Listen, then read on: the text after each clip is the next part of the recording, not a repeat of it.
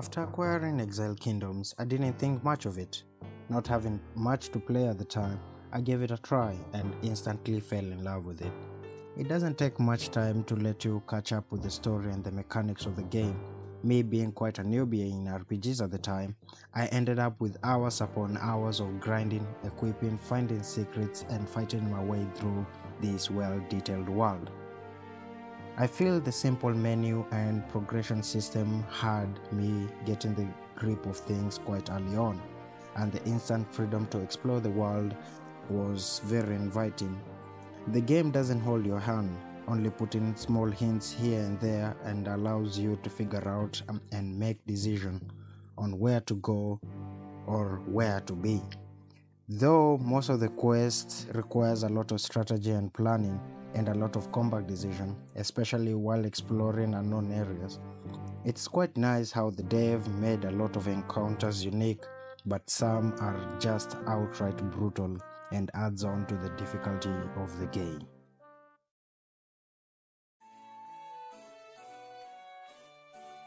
The story is quite simple. You are an adventurer who receives a mysterious and a magical letter promising you riches. The letter is about an inheritance heir left by someone from your family. But we quickly know that the protagonist, you, the player, doesn't have any relatives or no accounts of having any next of kin. But the promises of riches is enough motivation, and thus you take up the role. And we traverse to, through the lands to a place called Newgran in the Kingdom of Vasilia.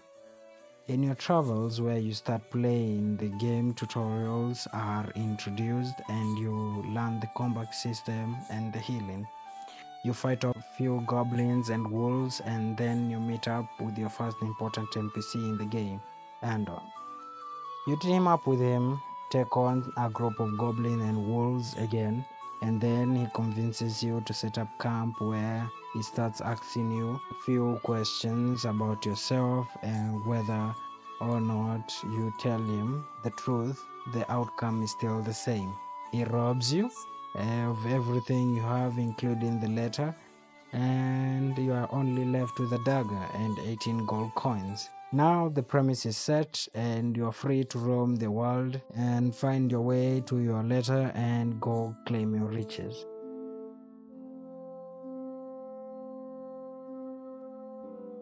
The world is quite big, with a lot of secrets hidden every corner. I love the inclusion of every biome in the game, complementing of what the kingdom does. Like the kingdom of Mecca, I'm pronouncing that wrong, I know, is mostly desert, and you find people trading um, slaves, and it's inhabited by hostile creatures associated with the desert, such like spiders, mummies, undeads, and you even find the music that complements the biome and sets a unique tone of every place you visit in the game.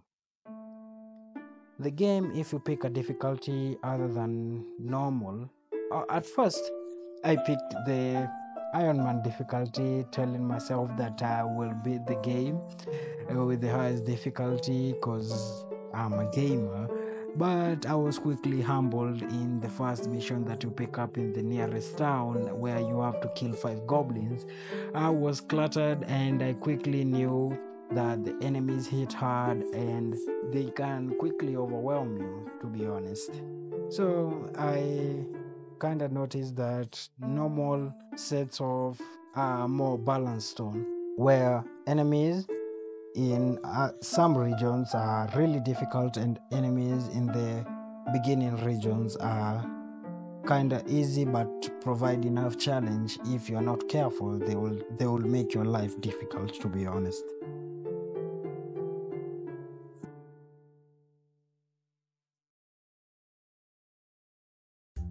The world building in the game is done well with great npcs well actually the one that you can interact with.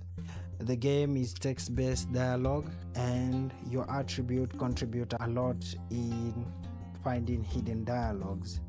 And choices matter in most of the interactions. If you pick a wrong dialogue choice, you can turn a friend into a fiend or cause the whole quest together.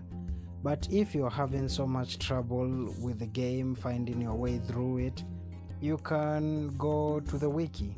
The wiki has uh, a lot, actually, a lot.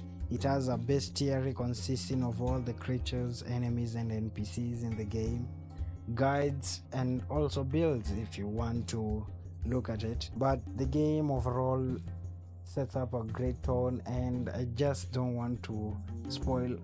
I want you to experience it for yourself, so I'll leave it at that. The game it's for PC and mobile. If you decide to go for Steam, it's $8. And since the release, the game has received over 40 updates. And so far, I haven't experienced any bug in the game, and the world, as I've read, has tripled in size. So you have a lot to look at, a lot place to explore, and find the secrets that the dev have left it. Oh, and I haven't mentioned that this is a one dev game.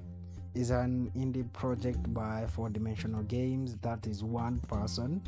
And it's actually very very impressive. I actually loved the world loved every encounter of every every npc but if you want to see me go in depth about this game if you're still not convinced you can let me know down in the comments okay okay.